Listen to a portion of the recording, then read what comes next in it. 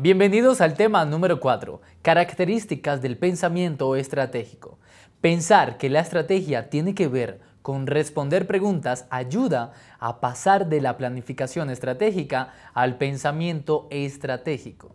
Luego, promover espacios para que la elaboración de la estrategia sea participativa y se beneficie de la inteligencia colectiva de la organización. Compartir preguntas que permiten respuestas abiertas lleva a estrategias emergentes más robustas y a organizaciones más implicadas. Por ejemplo, sobre la anticipación, podemos plantearnos las siguientes preguntas. ¿Qué va a pasar? ¿Cómo aprovecharlo o prevenirlo? ¿Qué podemos esperar de las tendencias del entorno? ¿Qué respuestas preparan nuestros competidores? ¿Cómo gestionar los riesgos? Acción. ¿Qué podemos hacer? ¿Hasta dónde llega nuestra influencia? ¿Cuáles son nuestros puntos de control en el entorno? ¿Qué posibilidades creativas nos ofrece la tecnología? Ahora, adaptación. ¿Qué fortalezas poseemos y qué hacer para aumentarlas? ¿Quién hace qué? ¿Cuál es la realidad sobre nuestro desempeño y capacidades? ¿Qué reglas define cómo trabajamos?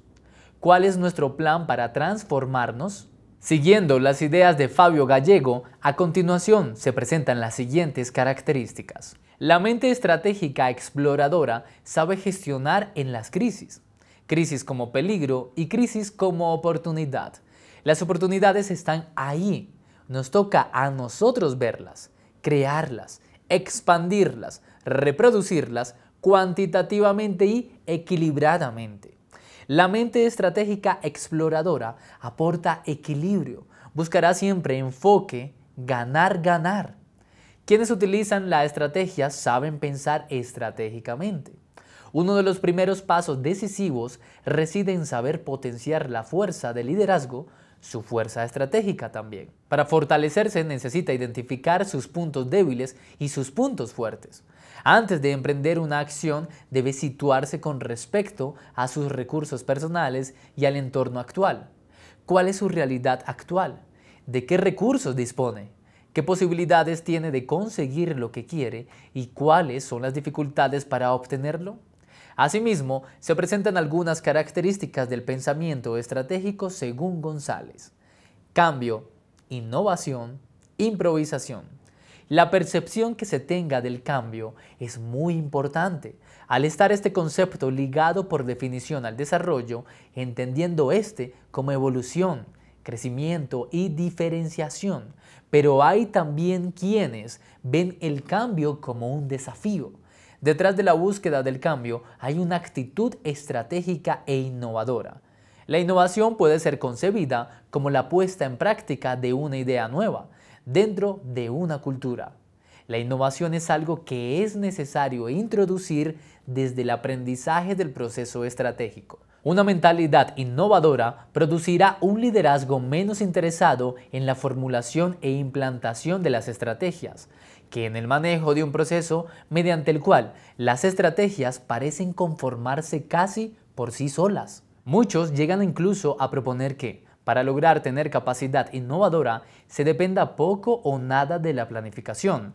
A esto se ha llamado adocracia y se interpreta como la posibilidad de improvisar. Factores que favorecen el pensamiento estratégico. El pensamiento corporativo surge de la propia necesidad del directivo de coordinar las acciones de toda la institución. La misión de la institución con su esencial característica de ser global y ordenadora la función de planeamiento y control, la actitud de apertura mental, de reflexión y participación en la toma de decisiones. Es vital impulsar entornos favorables que propicien el desarrollo. Los factores como aspectos institucionales, condiciones o el acceso al conocimiento permiten establecer diferencias en el crecimiento profesional. El pensamiento estratégico es un proceso dinámico, flexible, que permite modificaciones en los planes, a fin de responder a los cambios. Ventajas del pensamiento estratégico para la empresa.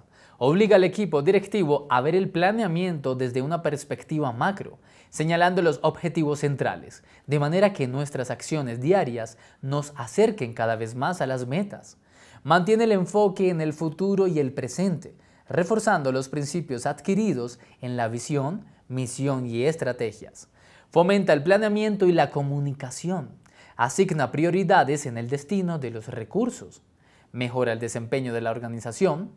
Permite a la institución enfrentarse a los principales problemas de la organización, al cambio en el entorno y ver las oportunidades y detectar las amenazas para eliminarlas o evitarlas.